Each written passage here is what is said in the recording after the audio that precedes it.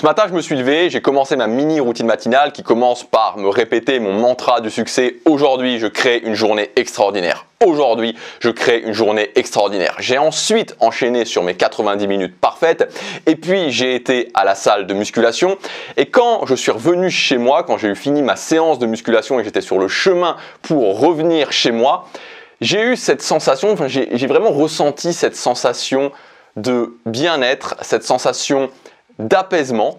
Et en fait, ça m'a fait penser à la sensation qu'on ressent quand on a atteint un objectif. Vous savez, quand on a décidé quelque chose, quand on s'est dit c'est ça que je vais faire et que on a des obstacles, qu'on est passé à travers ces obstacles et qu'on a finalement réussi, on a cette sensation d'apaisement, on a cette sensation de bien-être, on a cette sensation de fierté en soi. Et pour nous tous, c'est ça que je veux pour l'année 2022. Qu'à la fin de l'année 2022, on ait cette sensation de fierté en nous, de bien-être et d'apaisement, de satisfaction personnelle d'avoir atteint nos objectifs. Dans cette vidéo, on va prendre un peu de hauteur et on va voir les quatre obstacles principaux qui nous empêchent d'atteindre nos objectifs et qui vont s'opposer à vous en 2022 pour atteindre vos objectifs. Donc quand il y a des obstacles qui sont sur le chemin, ils seront là quoi qu'il arrive. C'est bien de les connaître pour pouvoir les anticiper. Avant ça, je vous rappelle qu'aujourd'hui, c'est le Black Friday. Pour ce Black Friday, j'ai mis en ligne une promotion exceptionnelle. Il y a toutes mes formations qui sont à leur prix de lancement et en plus, pour une formation achetée, vous avez une formation gratuite. Donc, je vous ai mis trois pages différentes. Donc, c'est dans le premier, deuxième et troisième lien dans la description. Suivant l'offre que vous choisissez, une formation achetée égale deux formations que vous recevez, deux formations achetées égale quatre formations que vous recevez et trois formations achetées égale six formations que vous recevez. Vous avez tout qui est expliqué, le choix des formations sur ces différentes pages. Il vous suffit simplement de cliquer sur l'offre que vous désirez, c'est valable jusque dimanche. Premier obstacle qui va s'opposer à nous, c'est que on vise trop bas.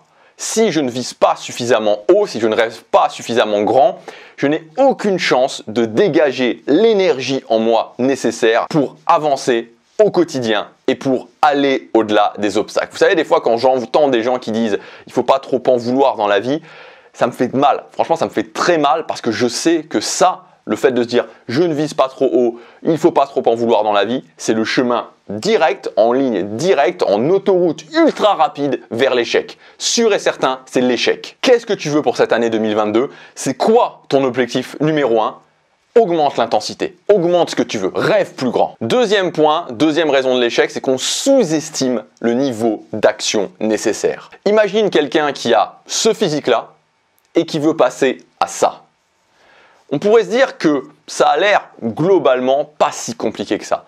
Pour passer de ça à ça, c'est au moins 3 ans extrêmement régulièrement avec quelqu'un qui probablement te fera ton programme d'entraînement pour être sûr de bien t'entraîner, d'avoir un bon plan alimentaire. Donc quand tu as un objectif et quand tu fais ton plan d'action, tu peux te dire à coup sûr que par rapport à ce que tu penses qu'il faut faire, ça sera minimum 3 fois, 4 fois plus d'action que ce que tu penses qu'il faut prendre. Donc il faut vraiment augmenter son niveau d'action. Et surtout, il faut vraiment éviter de se comparer. Vraiment éviter de se comparer. Il y a un concept que j'aimerais introduire dans cette vidéo, c'est le concept des primes. C'est-à-dire que suivant les objectifs, il peut y avoir des primes, des primes desquelles tu n'es pas forcément au courant, qui ont aidé la personne et qui font que si tu te compares à elle, la comparaison est biaisée. Alors peut-être que ce que je te dis, ça te semble pas clair, donc je vais te donner un exemple très précis.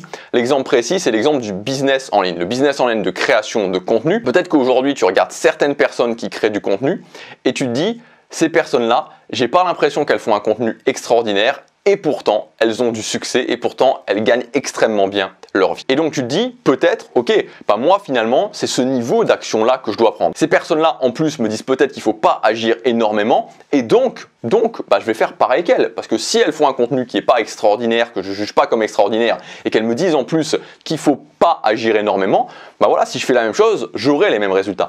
Mais ce que tu oublies, c'est ce principe des primes. Et ce principe des primes, c'est quoi? Comment ça peut s'appliquer dans le business en ligne de création de contenu? Tout simplement par le fait qu'il y a une grosse prime à la personne qui commence en premier. Dans le business en ligne de création de contenu, il y a une énorme prime, et dans le business en général, aux personnes qui sont là en premier.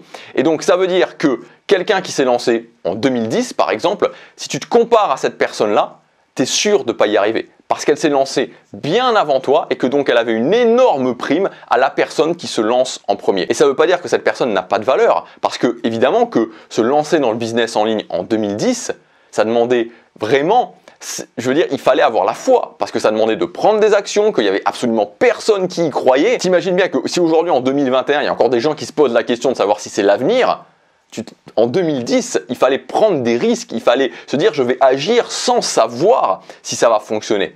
Donc cette personne-là a pris ces risques-là, cette personne-là a agi alors que personne ne le faisait encore. Donc forcément, ça avait de la valeur ce qu'elle a fait. Donc ce que je veux dire pour essayer de rester court et de rester concret, c'est que te comparer aux autres, c'est très très très dangereux parce qu'il y a souvent et dans beaucoup d'activités des primes desquelles tu n'es pas forcément au courant. Et donc quand tu te dis parce que tu te compares à quelqu'un, je refuse d'augmenter mon niveau d'action, je ne veux pas prendre plus d'action, je veux faire comme cette personne-là parce qu'elle a ces résultats-là en prenant ces actions-là. Ce qui se passe, c'est possible de faire ça, mais ce qui se passe, c'est que tu augmentes d'une façon extrêmement importante la part de hasard tu vas mettre énormément de hasard dans ta réussite. Et ton niveau de contrôle sur ta réussite sera beaucoup plus faible. Donc en fait, quand tu te dis, ok, je vais augmenter mon niveau d'action, je vais prendre suffisamment d'action jusqu'à temps que je brise le mur, ce qui se passe en fait, ce qui se passe à ce moment-là, c'est que tu reprends le contrôle sur ta réussite. Quand tu te dis, cette personne-là a réussi en faisant ça, je fais pareil,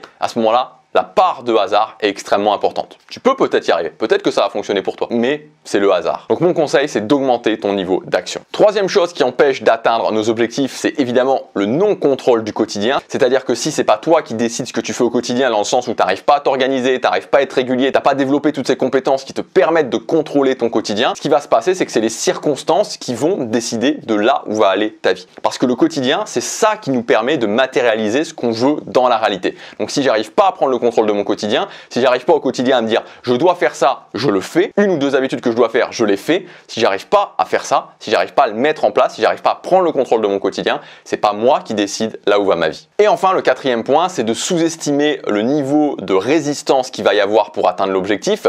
La force de résistance, on en parle très régulièrement sur cette chaîne, c'est la force qui s'oppose à toi, c'est-à-dire que quand tu te mets en chemin vers tes objectifs, tu vas avoir une force qui va s'opposer à toi et qui va voilà, qui va résister à ton avancée, qui va essayer de te faire justement avancer moins rapidement. Tu as pu très certainement déjà t'en apercevoir, c'est valable pour tous les objectifs. Par exemple, la résistance, ça peut être le rejet social quand tu as des objectifs sociaux. La résistance, ça peut être la stagnation. La résistance, ça peut être le hating, la peur du jugement des autres. La résistance, ça peut être ton entourage qui te fait douter, c'est multiforme. Mais ce qui est sûr, c'est que c'est là. Et cette résistance, elle va être très certainement plus forte que ce que tu penses. Donc il faut tout simplement s'y préparer il faut aussi préparer. Et quand tu vas expérimenter de la résistance, quand tu vas stagner, quand tu vas douter, quand tu auras du hating, quand tu auras du rejet social, quand tu auras ton entourage qui essaiera de te démotiver, ou toutes les autres formes que ça peut prendre, il ne faut pas se dire pourquoi c'est difficile, il faut se dire ok, c'est difficile, il y a de la résistance, c'est normal, c'est normal parce que je fais des choses qui sont importantes pour moi. Et tu peux reframer cette résistance,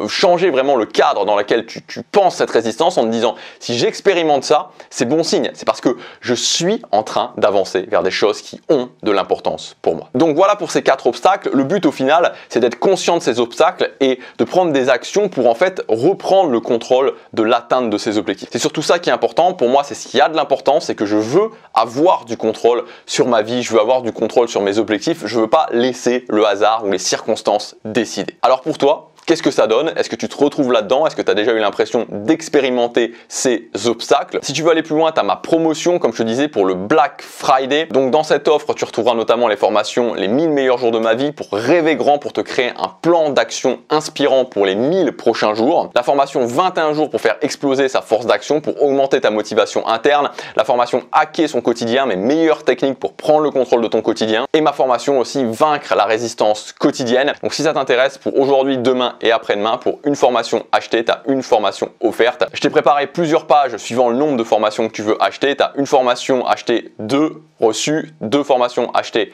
quatre reçues et trois formations achetées, six reçues. Tu as tous les liens dans la description, c'est valable jusque dimanche. Je te dis à tout de suite dans les formations, à demain pour la prochaine vidéo. Passe à l'action, chaque jour compte.